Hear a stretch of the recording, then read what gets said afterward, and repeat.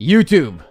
Crowder here, bringing you guys what you've been asking for for such a long time. Guys, it is time for the advanced player tips. I know I've been doing some basic tips and I've been doing a bunch of coaching videos throughout the year and you guys have liked it, but I'm going to do how to win solo duos and how to get a little bit better at them and analyze one of my games that I've won recently. This was my 1000th win. This game was actually crazy. The ending was probably the best part, so please don't stop halfway through this video. Get all the way to the end. The way I win this game is actually crazy. It's a pretty wild situation. So this video is going to consist of me explaining my thoughts in the 1v2 scenarios. This is a solo versus duos match and also kind of just like watching this and seeing how I play it and how I position it will help you not only win solos versus duos, but solos in general. So if you guys like these kind of gameplays, I did how to win solos about two weeks ago and it helped out a lot. So I'm going to be doing how to win solos versus duos now and kind of show you guys how to get the W when you guys are going up against more than one person at a time. I hope you guys enjoyed this video. If you did, please smash the like button. Comment your thoughts on this video right now as you're watching it. I would love to hear from you guys. I've been responding to all my YouTube comments as I can. And the recent videos have been getting so much engagement. I really appreciate it. So I hope you guys enjoy this. Like, comment, subscribe, and all that good stuff. This is going to be a tips video and analyzation of the 1v2s. So get ready. Let's get right into it. And I hope you guys have a great day.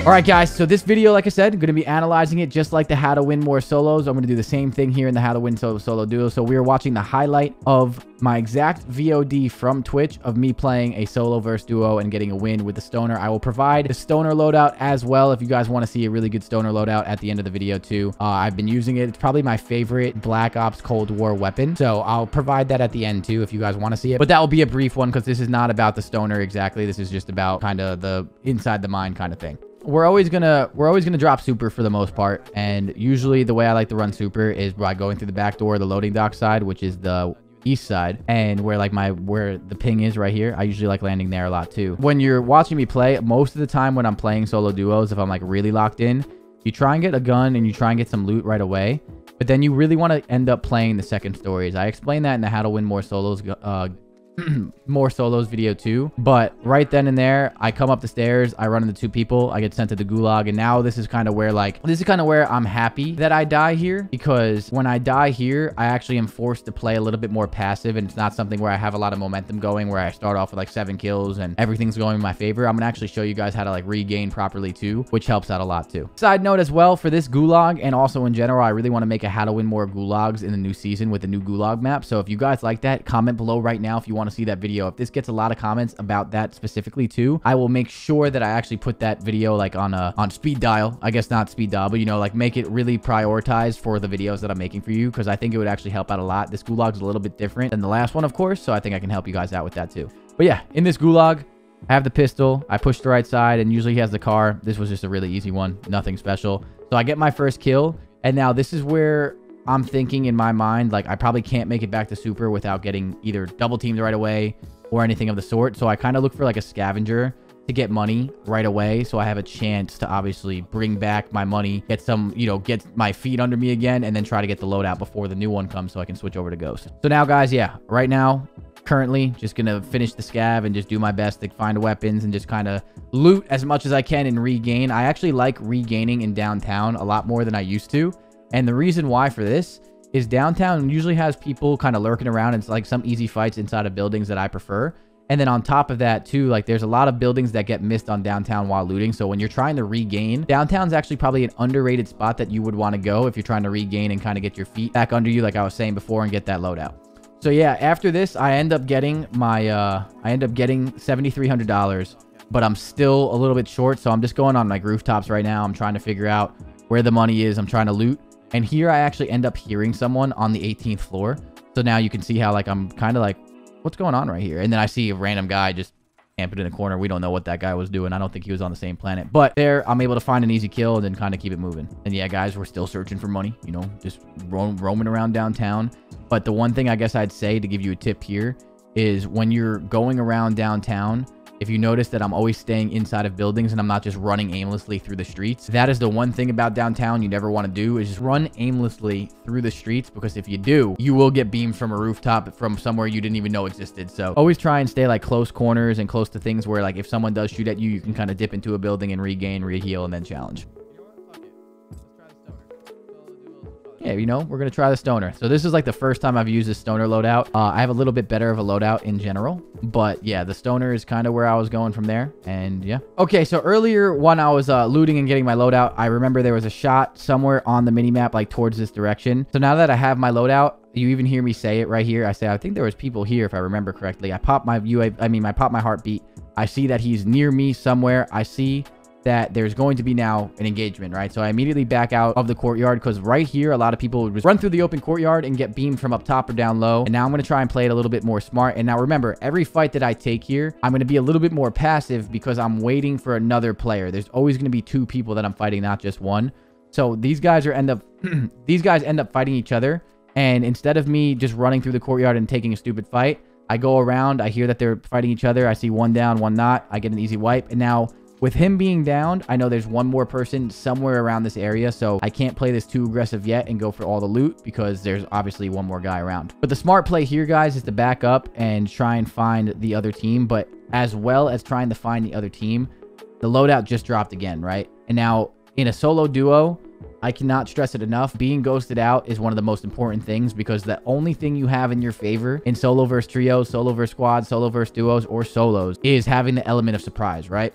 So I now switch to my ghost loadout, and now I have a chance where I can run up on people and they won't actually see me, and I can get that first down. And in a solo versus duo, if you get that first down, it is now a one-on-one, and that's kind of where I thrive in just a regular one-on-one gunfight. And especially for you guys watching this, you guys are always going to want to have a one-on-one instead of a 1v2 where they both know where you are. Where in this case, if you get one down, it would only be one person instead of two actually shooting at you. So now, guys, I've completely disengaged. I'm playing it smart. I want to try and win. I told my chat I was going to go for the win. This is also for number 1000, so I'm playing a little bit smarter here.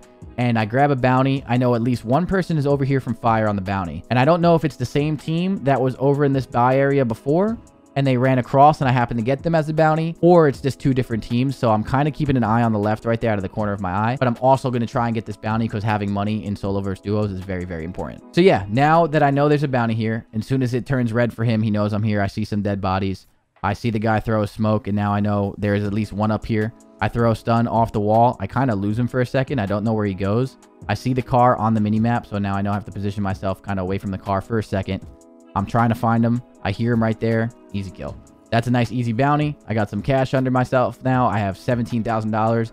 This is where I was talking about the momentum in the beginning of the game.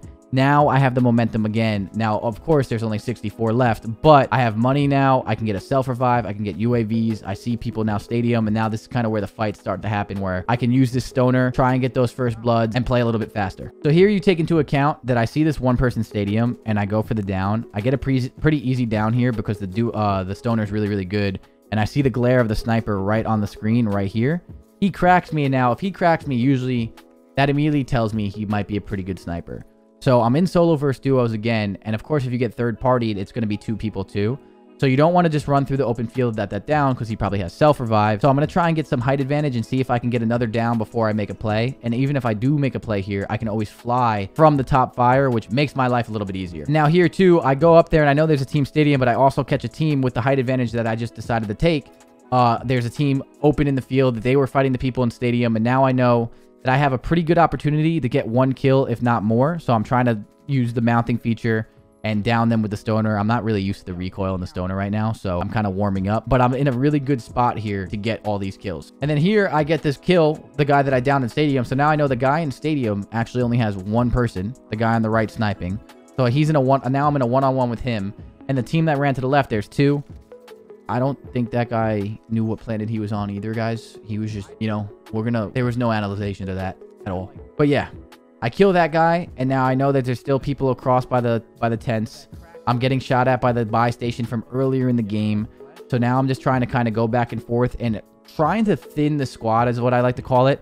So there's two people in the duos. I always try and get like one full kill and then hold my position before I make a full push. I end up getting away and the people behind me kind of forced me to go one way. So I push towards the stadium and now I'm looking for people to find. I know the stadium team's still around here or the people that came from the tents went to stadium. So I pushed that way. And then here, guys, this is something where I kind of get lucky. A guy comes up the staircase. I'm reloading. I slide to the left. I avoid a sniper. I have the MAC-10. I get one. I kill the second guy. And that's kind of that's really it. The only thing I would say is I get lucky he had a sniper out, but if you notice, I slide to the left behind cover to avoid his shots, even if he had an assault rifle. But if that guy was probably a better player, I most likely should be dead, so I kind of get lucky here in the sense that that guy's not the best player. Then after that fight, I rotate the top stadium, and I'm the reason the reason why I rotate the top stadium is so that I can actually use that flying feature right there to kind of get over towards a different building of cover without having to run through an entire open field because I knew there was one team by the tents and I'm not sure if that was the team that I just killed at stadium.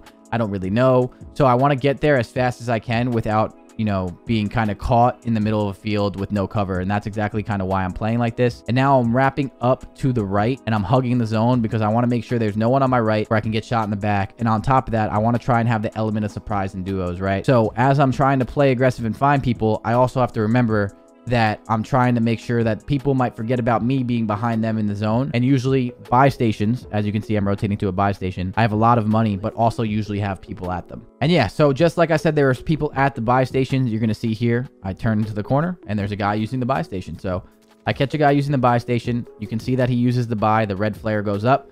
I use all this time to buy what I need to buy. I know that there's a guy above me now because the guy that you, the guy just used that. I'm going to see if I can pick them out of the air, but probably not. And now I'm just going to try and call on UAVs. And you're going to see right here, this is the biggest part of the game for me. So right here, I see that I use a triple triple UAV, which is an advanced UAV. Now I know from this exact screen, majority of the map is all center circle, right? All center circle and left side of the map. There's one guy floating in the air, a couple people south of me, and a very few north. So now I know that's not too many people around me. Maybe there's a team ghosted, but most likely not too many people around me. And I have to get back into the action over by the airport and focus bottom left, like southwest or southeast of the map. And that's kind of where I'm going to get most of my kills if I go that way. So I leave that ping there. And now it's my time to kind of rotate and try and get into the action. So if I can get to one of those hangars or those buildings, I can get into a good position where if I find people, I can get that first pick, kind of catch them by surprise, and then be in a fair one-on-one, -on -one, which makes my life much easier. So here we are rotating around, you know, taking the car. We're going to rotate straight to my ping. I know that there's a lot of people on this side of the map, so I'm going to take a building, and now I'm going to start looking for easy picks. So right here, I'm going. I'm just kind of, you know, I'm making noise with the car. People see me. I see a guy right here. I'm like, oh no, I back up. He makes me really, really weak. And now this is where I got to start playing smart, right? I have a person that can obviously hit their shots decent enough that they're going to crack my armor. And I know that there's a lot of people around me, so I can't get too aggressive and run through an open field. So I'm going to try and start downing people, use my airstrike, and do all of this where I can constantly down them. But this is the big play. This is the big mistake right here. So I down this first guy, and now I'm expecting the guy to hopefully go for it, and I get too aggressive. So right here, instead of running out there like kind of an idiot, what I should have done is I should down this guy right here. I should go to the right. And now right on this corner, I should shoulder and make sure that guy is not peeking and give him like an extra second or two before I decide to push them. But instead, because I have dead silence here, I have it ready. I'm ready to go. But instead, I get too over aggressive. I get shot and then put down. And now if this guy knew that I was solo, he should push me. But he thinks I have a teammate, so he's probably waiting while his teammate's down. I should have definitely thrown a shoulder there to make sure that it was actually the right time to push. So once again, I regain, I heal up, I get another down. And now this is where in my moment I can use this airstrike for my advantage. If I pop this airstrike, now I know for a fact he can't peek. And once I know that, this is where I'm going to make my move to get into the other building so I have a better angle on this exact team. Because now I know by the time I get there, they're going to get their res. And then it's probably going to be a situation where this guy now has two teammates again. So I'm going to play it one more time for a down and then hopefully a finish and then a full kill and go from there. This team ends up actually playing it pretty well, I would say. They're kind of just holding this building and they're constantly making me peek them. And they have two people and I have one. They don't know that. But I'm just trying to get that one intro pick. If I can get that one intro pick, that's going to help me out so much. So I'm kind of just tr trying to figure out the best way to approach these guys while also looking on the other sides of the map to make sure no one else is just running around. I see this guy over here. They're hitting pretty good shots. I don't want to over challenge. I don't have self anymore, right? So I'm doing my best here to just try and get this opening pick for myself just to kind of get in there. But they're doing a really good job of throwing shoulders and not over peeking and giving me that down, even though they've done it twice already. So then, yeah, here, guys, I'm still doing the same thing, but I'm actually going to get shot at from a different direction, which gives me info that I remember on the advanced UAV, there was a lot of people here, right? It gives me info now that there's a sniper on that green building right there that you just saw on my screen, if you back it up and check it again. So I have to make sure I cannot peek from the top but I do have dead silence, and this is probably where I'm going to have to make a move to kill these guys, or I'm going to have to disengage one of the two, because if I don't, it's going to be a very, very hard win for myself. So instead of fighting the team up top, and then also have to worry about the other team in green sniping me, and if that's a good sniper, I'm probably dead, I disengage here and you can see on the map that the circle is in my favor, right? So the people on this side, which would be over here, have to rotate in. People all the way on green, which are over here, have to come from all the way here and rotate in too. So in a solo duo situation, patience is your best friend. And of course, sometimes it's not that fun to play like that, but I'm going for my 1000th win. And also I'm trying to take this a little more serious to show you guys on YouTube how you can win solo versus duos and not just drop bombs because dropping bombs is a little bit of a you know running at everybody and also world starring people which i've done before in plenty of my gameplays but this is more of like a serious one for you so i disengage and now i'm just trying to get like a rooftop or a window where they have to come towards me and it makes my job easier where like I can get a little bit easier kills in a solo versus duo. I also noticed that there's cars over here by the buy station. And if there's cars by this buy station, there's probably someone over there or at least one or two, maybe more teams there. So I'm just trying to get all my info here that I see someone land there. I know there's two teams on the edge that they're going to rotate late. I'm just getting all the info that I possibly can just to make sure that there's 26 people left and I know where majority of the people around me are. Now, guys, that the circle is now getting closer to me, I come back to the window to make sure that team that are probably holding the building, if they're holding a building like that, they're probably going to rotate late too. They didn't seem like the most aggressive players, right? So I'm going to see like, whoop, there you go. I get an easy pick. Now I know that I'm probably in a one-on-one for this like actual fight, which is the element of surprise. I waited. I used my patience here. I have the element of surprise. I get one, I get two, and now I'm in a really good spot where I killed probably the only team on that side. Maybe the other team is still late rotating, so I'm going to check it out. But other than that, I'm in a good spot. So here, making sure that other team didn't ra randomly late rotate. I'm just trying to make sure that there's no one on my backside because if there is, then I'm gonna have to fight him. I see that guy going for that loot. Now here, guys, I'm out of plates and I see that one guy going for my loot. I don't know where the second one is, but you always assume that there's a full team. So here, I'm trying to get my info again. I put some bullets into him, but I do have stun grenades, so I'm able to push him with the dead silence. I throw a stun, and I'm able to just use my dead silence and my nades and my tacticals. Push this guy. I kind of have him on his heels. He goes to challenge me. Easy kill. And right there, I have this entire side of the map in my favor. I can loot the plates, and I can kind of get back in action. So now, while rotating, I'm just constantly trying to, you know, use my heartbeat and do my best to push up the map. I see cars over here, right on the map. So in my mind, I think there could definitely be a random person on that wall. So don't run through this airfield is my, my mind. I have to make sure that there's no one on that buy. Make sure there's no one on my left side. So I'm kind of trying to just find info of where another team could be before I make a crazy push. I don't see anything. I go immediately to a tight corner where I could finesse and go back and forth on the sandbags. I see that car there still, so I'm still like, I don't know. Could he be there? Could he not? I'm just trying to see if I can get any visual info. And then here, you guys are going to see, I backed it up for a second. You're going to see the flare go up from the buy station right here. And as soon as I see that, I now know that there was one person there. He's going to try and fly in, probably go for the loadout, and I'm going to try and go for the kill right here. I get that guy down with the stoner. Still shaky shots for the most part. I'm still worrying about the recoil. I haven't used the stoner really much in this video yet. I get that one person over there. I'm trying to see if anyone crosses. I see a head right there crossing to him. And now it looks like there's two teams because that's three different people. I now know that this is probably my moment in solo duos, solo squads, or solo trios. If you see a team fighting, most likely they're going to be weak. Most likely they're going to be down a player or something. That is when you have to make your move. I see these two teams fighting and that's when I'm like, all right, this is my time. I got to go fight. Make sure I can try and find a weak person use my headset to hear their uh, uh, sounds. I see this guy running away. Easy kill, and now I'm in a good spot again. So then here, guys, I just get my loadout. I think I use this loadout to get an extra stun because it helps out. I'm pretty sure I picked up a heartbeat. I don't know if I had ghost there or not, but I have an extra stun. And right here, you can see that this strip is something I do not want to rotate through on foot. If a good team is over here, I'm dead. I have no chance of going through it. So I'm going to use this car regardless if it's hurt. And I just want to get all the way to the, the things in the airfield that will give me cover. So I have places to finesse and also not get caught in the airfield. I use this car. I get right to the places of cover. And now I'm in a good spot where now there's only six people left in this game. I have 14 kills. I know there's a person right here because of the buy station being used, the res right there. I see people over here to my left. So now I know where probably majority of the map is. I see these people running right. I'm trying to use the stoner to get the picks. These are kind of hard shots with this specific class. The loadout that I'm going to provide for you makes those shots a little bit easier in my opinion. I'm using the stoner and now I know that there's a team of two over here. Now let's count the kills here. A team of two over here and me, that's three people. So there's two other people left and that's it. So it's a 2v2v1. I'm the one.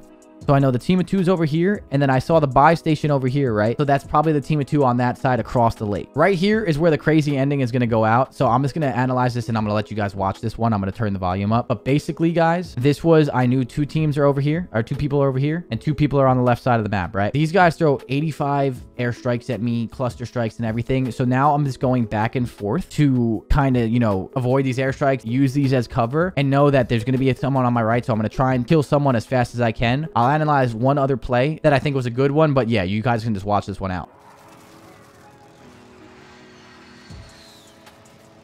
So there's two people over here. The 1v2v2, bro.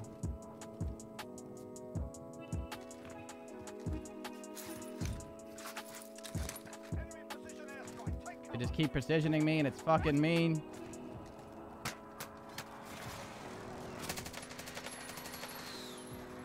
Oh my god, this is so fucking rude.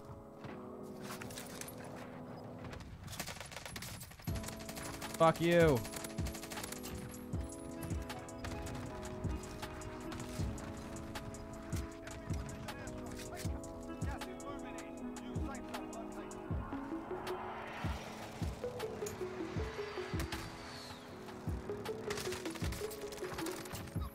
So right here, as you know, if you back it up really quick before we go farther, right here when I get precision airstrike, you see it pop up on here. So I know the team behind me airstrike me, and then you can see that it's close to the ridge line, right? So I know that as soon as that precision airstrike gets called, it's like I got to kill this guy in, in front of me and heal up and challenge the guys behind me because if I stand here any longer, I'll die to the precision. But if I stand here any longer with my back facing them, they're to shoot me in the back. So here is where I start playing a little bit more smart. I run immediately at this person. I have the stun grenade that you see. This makes it kind of an easy kill for me. I throw my stun.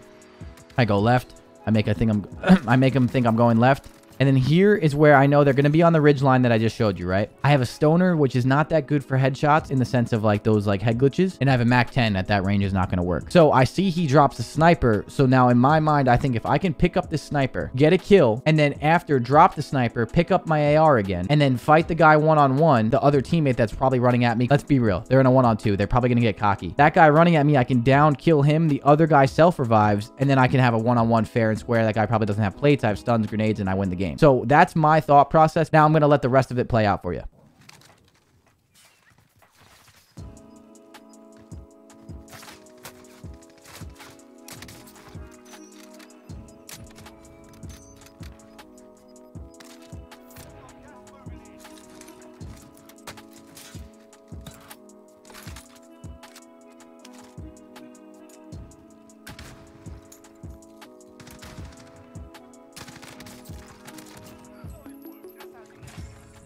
Oh my gosh, GG. That was crazy. That was just mean. I just got so many streaks called on me at once. That was for my thousandth win. So yeah, that is how it comes to an end. So right there, I throw that snipe. I'm able to get the opening pick because I figured he would be on like a head glitch of some sort of cover. That was the only gun that was going to give me that ability to kill that guy. And then after that, I drop a munitions box to get my tacticals back that I picked up off the guy. That made it a lot easier. I'm able to get my stuns back and secure the game. So I hope you guys enjoyed this video. I know you guys really liked the how to win more solos. When I kind of analyzed that one and that solo that I analyzed was the 26, I could make another basic one that helps you guys just win solos in general. I can also go for really high kill ones and solo duos and more too to kind of give you even more advanced tips. But this video was more dedicated to the people that want to see how to play versus 1v2s. And also, guys, if you take tips from this video, it can help you win more solos and squads and stuff too. This is just more of a positioning and rotation and what I'm thinking. And I know you guys liked the last video a lot. So I hope you enjoyed this video. Once again, please subscribe to the channel if you do. I've been doing a lot of content like this, giveaways, and so much more. I appreciate all the support. The views on the videos have been so high recently. I can't explain enough how grateful I am for all of you guys watching my videos. Thank you again, and I hope you guys have a great night. I'll see you guys next video. Later, guys.